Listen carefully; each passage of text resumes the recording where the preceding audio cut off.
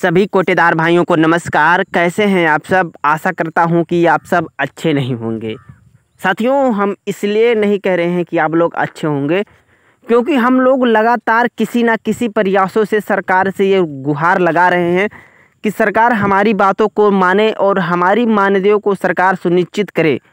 कम से कम हम लोगों को तीस हज़ार रुपये महीना मानदेय दे ताकि हम अपने बच्चों को अच्छा शिक्षा दे सकें और अपना जीवन यापन आसानी से बिता सकें। लेकिन दोस्तों, सरकार हम लोगों को बिल्कुल इग्नोर करते चली आ रही है। ऐसा लग रहा कि हम लोग सरकार से बड़ा दुश्मन कोई नहीं है। सरकार हमको दुश्मन समझते चली आई है दोस्तों। क्योंकि दोस्तों, ये देखिएगा, आप तमाम न्यूज़ चैनल के माध्यम से, टीवी के माध्यम से देखे होंगे कि तमाम सरकार के खिलाफ कोटेदारों ने धरना प्रदर्शन दिया, ज्ञापन दिया, लेकिन इसका कोई असर होने वाला सरकार पर नहीं है। तो दोस्तों, आज हम इस वीडियो में आप लोगों से बात करने वाला हूँ। आप लोग कमेंट करके उत्तर दीजिएगा कि आखिर सरकार हम लोगों के पक्ष में कब बोलने वाली है। मेरे भी कई वीडियो के माध्यम से हम आप लोगों से बात करना चाहा और बात भी किया। सरकार को मैं उस वीडियो को भी आप लोगों ने शेयर किया कि सरकार तक वो वीडियो भी पहुँचे। सरकार तक वो वीडियो भी पहुँचा, लेकिन इस पर कोई फ़ायदा नहीं हुआ। दोस्तों, सरकार उस पर कोई एक्शन नहीं ली। लेकिन दोस्तों, हम लोगों को सरकार पर उसको एक्शन चाहिए, हम लोगों को मानदेय चाहिए। नहीं तो दोस्तों, हम लोगों का जीवन यापन आसानी से बीत नहीं सकता है।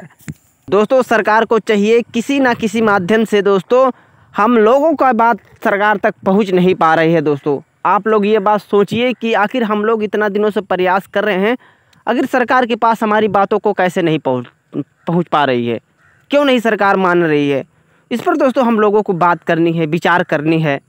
सरकार तक कोई हमारी बातों को नहीं पहुंचाएगा। हम लोग स्वयं मेहनत करके सरकार तक हम अपनी बातों को पहुंचाएँगे और अपनी बातों को सरकार से मनवाएँगे और दोस्तों, पहुँचाने का एक ही मात्र ज़रिया है यूट्यूब चैनल।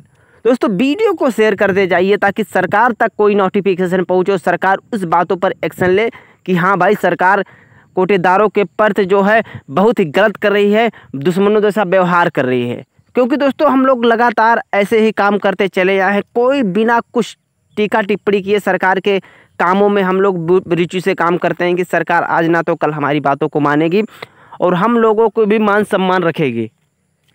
बस दोस्तों, वीडियो में क्या बताना था? बस यही बताना था कि आखिर हम लोगों का बात सरकार तक क्यों नहीं पहुँच पा रहा है?